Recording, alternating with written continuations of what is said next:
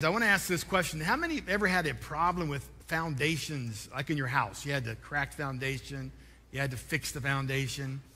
What happens if you don't fix the foundation? What happens to your house? It starts to fall. And of course, the foundation holds everything up. And so it is in your Christian life. The foundation you build yourself on holds everything in place. And there is a foundation of understanding that you have to have to actually walk with security and where God wants you to walk. So we're going to talk about that today uh, out of Hebrews chapter 6. Get your Bibles open to verse number 1. Therefore, leaving the discussion of the ele- elementary principles of Christ, let us go on to perfection, which means maturity, not laying again the foundation of repentance from dead works and of faith towards God, um, of the doctrine of teaching of baptisms of laying on of hands, resurrection of the dead, or of eternal judgment. Now, these are all foundational issues that you need to know. If, if there's one mentioned there you don't quite understand, you need to find out. That, that is a foundation that you need to stand on and know what it says, what you have, and what God wants you to know about that topic. Well, today, we're going to look at the one of them called the doctrine of baptism. Sounds kind of boring, but it's actually exciting. The doctrine of baptisms. Now, notice right away that it says baptisms, not baptism. And so we need to understand that there's more than one baptism mentioned in the Bible that pertain to your life, and we're going to jump into that. So I think most people think of water baptism when you mention baptism, but that's just one of the baptisms. So let's define our terms. Baptism literally means the word to wash, to dip, to be immersed into something. A baptism requires someone doing the baptism into something, being immersed into something. The word, and I give uh, Rick uh, Renner credit for this, he helped me with the definition, but the, the original word baptism literally came from the concept of dyeing cloth where you would dip it and it would come out looking different than it did before. So when you immerse something in baptism, it takes on the character and the flavor of what you immerse it into. So remember that. So 1 Corinthians chapter 12, let's get into the Word of God. Verse number 12, Paul teaching here. For as the body is one and has many members, but all the members of that one body, being many, are one body so also is Christ.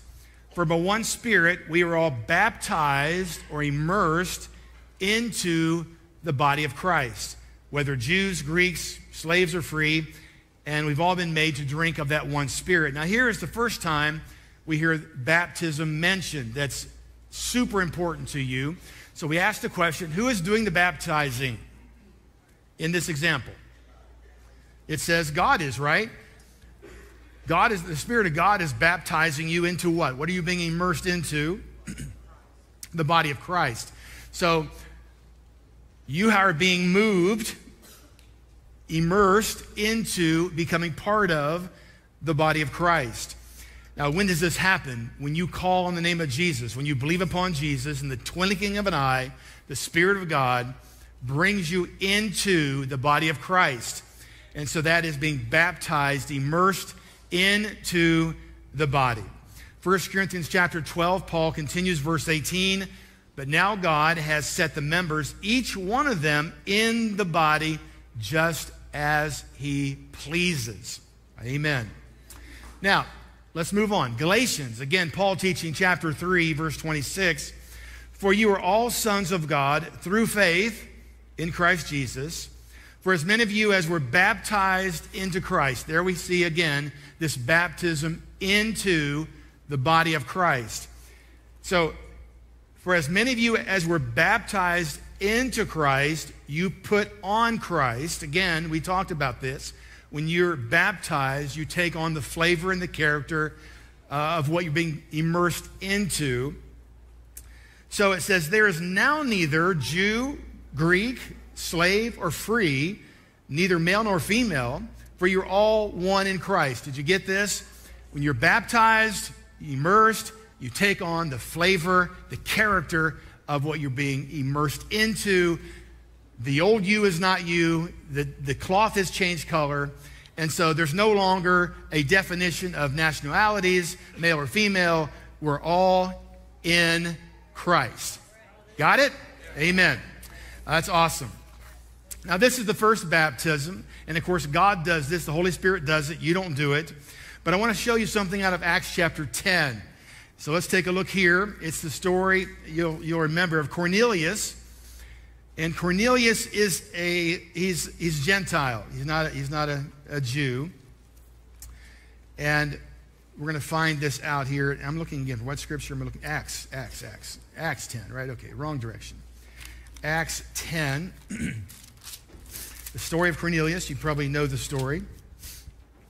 But anyway, Peter has a dream of this uh, sheet being lowered from heaven, and it was full of animals that the Jewish law forbid them to eat. And uh, the Lord spoke to him in the dream and said, You know, kill and eat. And he said, No, no, I can't do that. I never, never want to do that. And God says, Whatever I've declared clean is clean. And he, he's thinking, what is, what is this all about, right? Well, Cornelius is this Gentile that an angel appears to and uh, we'll find out here what happens, but let's pick up the story in verse 27. So Peter goes, uh, is summoned to Cornelius' house. An angel tells Cornelius to go get Peter. And so when Peter gets to Cornelius' house, verse 27, talking with him, Peter went inside and found a large gathering of people. And he said to them, You are well aware it's against our law for Jews to associate with Gentiles or even to visit them. But God has shown me that I should not call any man impure or unclean. So when I was sent for, I came. Now, may I ask why I'm here? All right.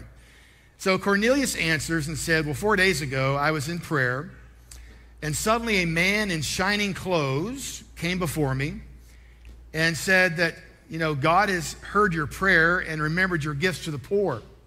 Send to Joppa for Simon, who is called Peter. He is a guest in the home of Simon the tanner who lives by the sea. So he sent for him. Of course, he's telling Peter what's happened. And Peter goes there. But notice the next verse. He says, We're all here now gathered, anxious to listen to everything the Lord has commanded you to tell us. So then Peter began to speak. Being Gentiles, he's kind of bringing them up to pace on what's happened in the Jewish culture. He talks about uh, John the Baptist, talks about, you know, Jesus went around doing uh, good and healing everyone, and what's happened through Ju- Judea. And uh, then he comes down to verse 39, and he says, And we are witnesses of everything he did in the country of the Jews in Jerusalem, referring to himself and the, the other disciples. We are witnesses of this Jesus, basically. They killed him by hanging him on a tree but God raised him from the dead on the third day and caused, caused him to be seen. He was not seen by all the people, but by witnesses whom God had already chosen. And those who ate with us, we, we are witnesses as well. We ate with him, drank with him. And then he goes on, he commanded us to preach to the people and to testify that he is the one whom God appointed as judge of the living and the dead. All the prophets testify about him that everyone who believes in him receives forgiveness of sins through his name. Now, while Peter was still speaking these words, the Holy Spirit came upon those that heard the message, these Gentiles. The circumcised believers, the Jews, were shocked that the gift of the Holy Spirit came on the Gentiles as it had them as well for they heard them speaking in tongues and prophesying. So let's talk about this. Peter is preaching or teaching the gospel to these Gentiles. He's going through the history, what's happened in Judea about Jesus, and he comes down to this phrase that everyone who believes in him receives forgiveness of sins through his name. Now let's set the stage. They know an angel had come before their friend Cornelius. They're not going to doubt what these guys say, right? I mean, they're, they're, all, they're all ears, right? An angel has ordered this event. Cornelius has brought his friends. They know about the angel. They are anticipating that the words that Peter speaks are truth. For one thing, because I think to have a Jew speak to them, they know it'd be strange for that to happen also, right? But when Peter spoke the words that who believes in the name, they receive forgiveness of sins, something happened in the supernatural. They were baptized into Christ. They believed. When he said that, they believed. And then the Holy Spirit came on them. The baptism of the Holy Spirit came upon them, which shocked the Jews because it was evidence that God had received them and that they were born again. You with me? So, when are you baptized into Christ? When you believe on that name. Peter just said, Whoever believes on that name receives forgiveness of sins. Bingo, they believed it instantly, and the Holy Spirit came upon them and was evidence to the fact they were born again and accepted by God. And the point I want to make is that's great, but it proves that water baptism is not required for salvation. Water baptism is not required for salvation. Being baptized into Christ is. And you are baptized into Christ by believing upon Jesus. Got it? That's one baptism, okay? Believing on God. And I want to make sure because there's some confusion in the body of Christ uh, in relation to the water baptism. All right. Now, the second baptism that we find in the Word of God is called the baptism of the Holy Spirit, but it really could be called Jesus' baptism or the baptism by Jesus. We find this in Matthew chapter 3, verse 11. John the Baptist speaking, referring to Jesus, I indeed baptize you with water unto repentance, but he who is coming after me is mightier than I am, whose sandals I'm not worthy to carry. He will baptize you with the Holy Spirit and with fire or power. So Jesus is the baptizer of the Holy Spirit to the church. Acts, the first chapter, verse 8, talks about this, stating, You'll receive power. Now, this is Jesus talking to his disciples before his ascension. You'll receive power when the Holy Spirit comes upon you. All right? And we'll need to talk about this in just a bit, what this means. Holy Spirit comes upon you, and you will be my witnesses, Jerusalem, Judea, Samaria, and to the ends of the earth. What does a witness do but testify? A witness brings evidence of something. He's stating, okay, this power of God is going to come upon you, which is going to allow you to testify or bring evidence of my reality that I am the Messiah and what I say is true. Okay? Now, this power will come upon you. But now let's talk about the disciples in John chapter 20. This is again before he ascends but he is now appearing to his disciples after his resurrection. So Jesus said to his disciples again, Peace be to you. As the Father has sent me, I also send you. And when he said this, he breathed on them and said to them, Receive the Holy Spirit. If you forgive the sins of any, they are forgiven them. If you retain the sins of any, they are retained. Now, let's, let's talk about this. He breathed on them. Now, notice they could not be born again until he paid the price of sin, right? Now he's resurrected, he's with the disciples, and he says, Receive the Holy Spirit. This is not the baptism of the Holy Spirit, this is them being born again, being baptized into the body of Christ. We know that for a fact because he says just a little bit later, Do not leave Jerusalem until you receive this gift of the baptism of the Holy Spirit. So we know for a fact this is speaking of them being baptized into the body of Christ or being born again. All right? Now, regarding the phrase, if you forgive the sins of any, they are forgiven. If you retain the sins of any, they're retained. Let's remember what he said to them. I am, I'm, as I was sent by the Father, you are being sent. And they are now carrying the message that he carried of salvation and is essentially saying, we read the Amplified Version that says this If you forgive the sins of anyone, they are forgiven because of their faith. If you retain the sins of anyone, they are retained.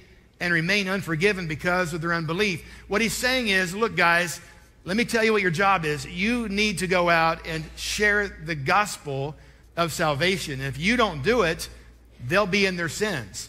Meaning that this is important, guys. I'm sending you with this assignment to carry this message of forgiveness, the good news of the gospel. You got it? Understand? All right. So they're born again.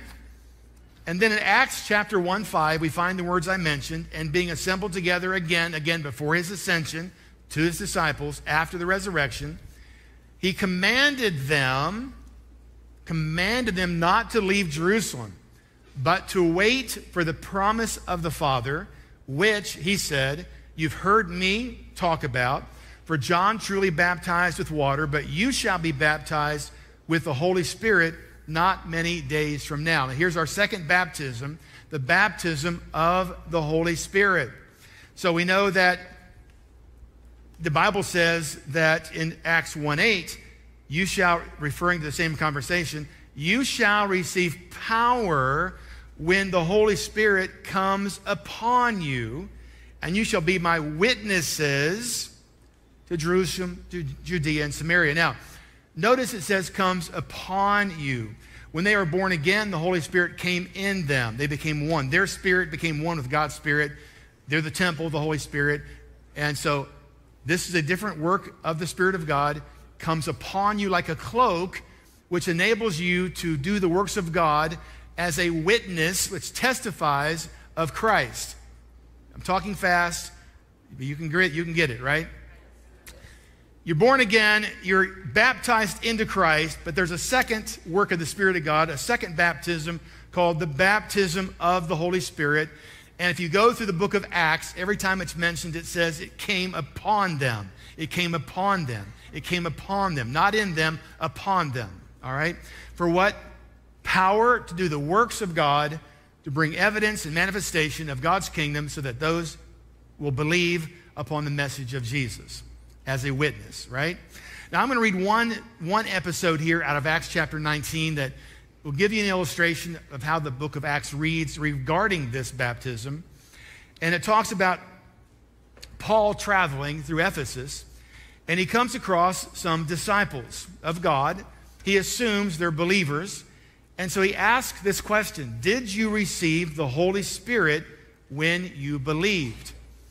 Now, he assumes they're believers already. So he's asking, did they receive the baptism of the Holy Spirit? Remember, all the apostles were told how important this is. Do not go anywhere without this empowerment because you are not equipped to be a witness. You need to have this power, this ability to have the works of God manifested through your life. And so they said, Jesus said, do, you, you know, don't leave home without it, basically. So, to them at that point in time, it was essential that they took that message with them. And he comes across these disciples. And the disciples say, We've, we've never even heard of a Holy Spirit, which was what? Paul doesn't. Well, then what baptize, baptism did you receive? They said, Well, we, we were baptized by John the Baptist. And so he says, Well, listen, John the Baptist, his baptism was a baptism of repentance. So he then goes on and begins to tell them about Jesus verse 4 of chapter 19. John indeed baptized with a baptism of repentance, saying to the people they should believe on him who would come after him, that is, on Christ Jesus. So he's carrying on a brief conversation, and it says, When they heard this, what were they hearing? They're hearing the message about Jesus, right? Paul is telling them about Jesus. And then he says they were baptized in the name of the Lord Jesus. This is water baptism. So we know that they believed the message. They, after they heard the message, they believed. They were baptized, immersed into the body of Christ. They're born again. Paul baptizes them in water, lays his hand on them, and then they receive the baptism of the Holy Spirit. They began to prophesy and speak in tongues. So in this, this paragraph, we see all three baptisms occurring.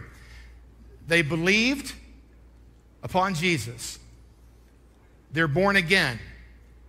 They are immersed or baptized by God's Spirit into the body of Christ. You got that? Number one. Number two, we could say, we can label them by different numbers, but they were baptized by the Holy Spirit. They received that power of the Holy Spirit. And then Paul baptized them in water. We'll talk more about why they did that and why it was so important that they did baptism in water, which is the third baptism. So let's talk about water baptism. I think, I think that many, many, many Christians go through water baptism as a routine and a ritual and miss the whole thing behind it. So we really need to talk about it. So take a look at 1 Peter chapter 3. And let's dig into water baptism, okay? I'm talking fast. I know there's a lot here, but as long as you kind of follow along, we'll get through it, all right? It'll be a blessing to you. All right. So, verse 18 of chapter 3 of 1 Peter For Christ died for the sins once for all, the righteous for the unrighteous, to bring you to God. He was put to death in the body, but made alive by the Spirit of God, through whom also he went and preached, or the Bible really, the word proclaimed, to the spirits in prison who disobeyed long ago when God waited patiently in the days of Noah while the ark was being built. Now, I don't think he, was, he wasn't preaching the gospel to them. He was proclaiming his victory to them as he took the keys of hell and death from Satan. He was proclaiming his victory to them, not preaching the gospel to them. All right? You follow me? Okay. The word proclamation would go there as well.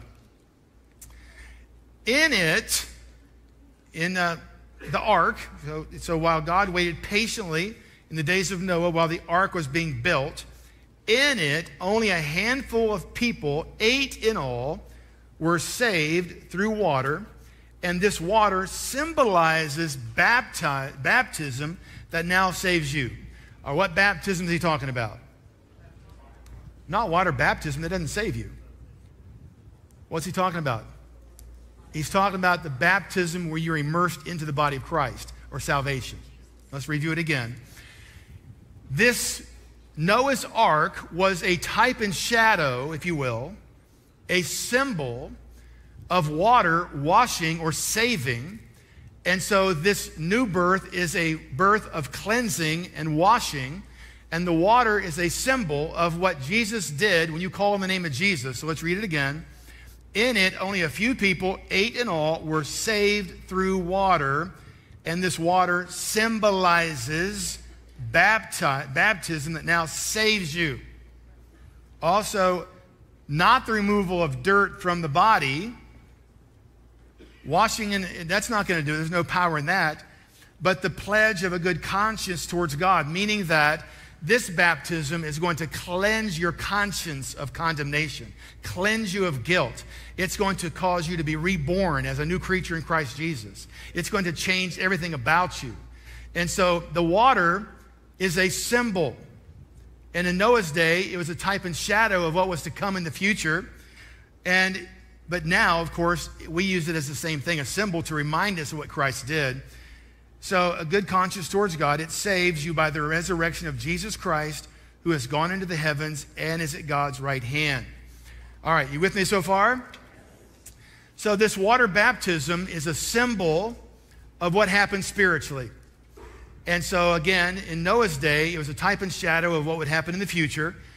Uh, and that water at that season with the ark was a picture or a symbol, if you will, of what this new this baptism into Christ did for you. It washed you and saved you just like it would save Noah in the boat. Now, for instance, let me talk about this because how we approach this and why God set it up this way. Let's talk about communion for a moment. I think everyone understands communion, but let's mention out of 1 Corinthians 11th chapter uh, Paul, uh, Jesus, I mean, yeah, Paul says, I received from the Lord that which I delivered to you. This is verse 23 of chapter 11, 1 Corinthians. That the Lord Jesus, on the night that he was betrayed, took bread, and when he had given thanks, he broke it and said, Take, eat, this is my body, which is broken for you. Do this in remembrance of me. In the same manner, he also took the cup after supper, saying, This cup is the new covenant in my blood. This do as often as you drink in remembrance of me. Now, so what is communion? Is there any power in the cup? Is there any power in the bread? No. They are simply symbols to bring you into what? Remembrance of what Jesus said about the bread and about the cup.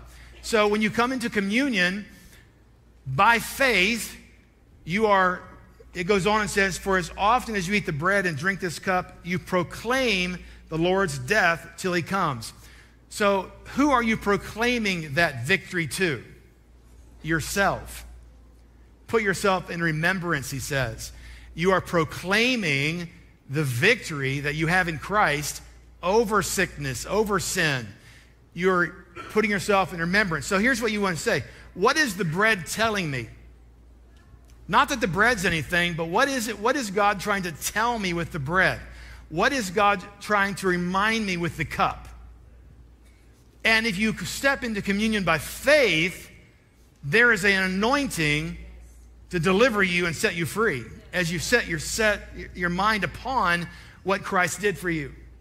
But so many people just go through it as a rote ritual and never tap into the effect that God had intended for it. So, by faith, what did God say? What did the body represent? If you need healing, his body was broken for you. If you need cleansing from sin, you need forgiveness, you have the cup. What does it say? What did Jesus do for you? You're going to proclaim that to yourself and to the devil, who's the accuser of the brethren. You're going to proclaim your victory. You're going to proclaim your healing. You're going to proclaim your, you're free from condemnation. You're going to stand there and proclaim it in his face as you're being reminded by the Spirit of God what Jesus did. There is an anointing on communion. Now, the same thing about healing in James chapter 5. And again, I'm using this example. I'll get back to water baptism. This all leads that direction. Is anyone among you sick? In verse 14, let him call for the elders of the church and let them pray over him, anointing him with oil in the name of the Lord. And the prayer of faith will save the sick and the Lord will raise him up. And if he's committed sin, he'll not be uh, he'll not he will be forgiven. There's no power in the oil. It's the prayer of faith. The prayer of faith. The prayer of faith. So what there's no power in the oil. So why did God say anoint with oil? Because what does oil represent? The Holy Spirit. So what you're trying to do to the one you're praying for is reminding them as we are praying that the Holy Spirit is coming upon you to bring healing to your body. If they approach that by faith, they approach that, that event by faith, they'll receive an anointing to be healed. Right? The prayer of faith. The prayer of faith. Now, that's an agreement of the one praying for them, with them, and them. In faith, anointed with oil, the Holy Spirit is now healing you. There's an anointing on that. So now let's take that same analogy to our water baptism. We know there's no power in the water. You could take a bath all day, 24 hours a day, every day, and never cleanse yourself from sin. Right? Amen. Romans chapter 6. What shall we say? Shall we continue in sin that grace may abound? Certainly not. How shall we who died to sin live any longer in it? Or do you not know that as many of us who are baptized into Christ, baptism number one, into the body, we are also baptized into his death? Therefore, we were buried with him through baptism, not water baptism, through this baptism unto death that just as Christ was raised from the dead by the glory of the Father, even so we also should walk in the newness of life. This is that immersion into the body. For we all have been united together in the likeness of his death. Certainly, we also shall be in the likeness of his resurrection. Knowing this, that our old man was crucified with him. Now, this is super, super important. When you're water baptized, if you by faith understand what you're doing, you are being reminded of what Jesus did for you. And if you're reminded that your old man is dead, so essentially you have been given power over sin. Sin no longer is your master. Let me finish this. That the body of sin might be done away with, that we should no longer be slaves of sin. For he who died has been freed from sin. Now, if we died with Christ, we believe that we shall also live with him, knowing that Christ, having been raised from the dead, dies no more. Death no longer has dominion over us. For the death that he died, he died to sin once and for all, but the life he lives, he lived to God, lives to God. Likewise, you also reckon yourselves dead indeed to sin, but alive to God. So, what's happening when you are water baptized, there's no power in the water. But the water is a symbol and a reminder of what Jesus did. When you go under the water, you're being reminded that you have died with Christ. Your nature has been changed. You are free from the power of sin. Sin has no power over you. You can live above sin. And when you come out, it is an illustration of the resurrection of Christ, which is the Holy Spirit in you, which gives you the power to walk out the life God has for you. And so, as you, by faith, not ritual, by faith, set yourself in agreement with it, there is a very strong anointing. And here's what I believe I believe by faith, when you do that, there is an anointing to help you break the flesh off. I really believe that. And so, why did they baptize everyone in water? You may say. Well, let's go back to Cornelius' house. Remember, the Holy Spirit came upon them. And then Cornelius is there. Of course, they're all speaking in tongues. Peter then says, Can anyone forbid water that these should not be baptized in water who have received the Holy Spirit just as we have? And he commanded them to be baptized in the name of the Lord. Why would they do that? Why was the church instructed to do that? Well, I do believe that it had an anointed impact on them to remind them of what Jesus did for them, that they walk out but I believe it sets them on the course of being a disciple of Jesus. It sets them on the course of following after Jesus. In Matthew 28 19, Jesus himself said, Go therefore and make disciples of all the nations, baptizing them in the name of the Father, Son, and the Holy Spirit, teaching them to observe all the things that I've commanded you. And lo, I'm with you always, even unto the end of the age make disciples. I believe that water baptism sets you in a place of obedience to Christ and sets you on a path of discipleship. And of course, I do, do know that there's an anointing on that for your freedom as well. But you'll find they always had that involved when they came to Christ. They always presented to them the baptism of the Holy Spirit, and they always baptized them in water. And that is the first command of any believer is to be water baptized if they're truly born again, not a ritual, truly born again. First commandment we have is you are to be water baptized unto Christ in obedience, and you, be, you become a disciple of Jesus. So that's the first step. Now, obviously, water baptism happens after you're born again. So obviously, we don't baptize babies and children because they're not born again. They're, they, don't, they don't need water baptized yet, right? And so you can be water baptized more than once. It is not bearing upon your salvation, but water baptism, like communion, you know, is a great reminder that if I need, you know, I'm just going to remind myself what Jesus paid for. I mean, you know, if you're battling something, you know, you're dealing with your flesh, you go, flesh, I'm going to remind you what Jesus did. I'm, I'm not a slave to sin anymore. The Bible says in Romans chapter 6, I'm not a slave to sin. I have been Sin has been eradicated. I am dead to sin. And so you can be water baptized anytime you want to. But certainly, your first responsibility is to be water baptized after you come to Christ. It is a matter of obedience to Christ and a matter of becoming a disciple of Christ.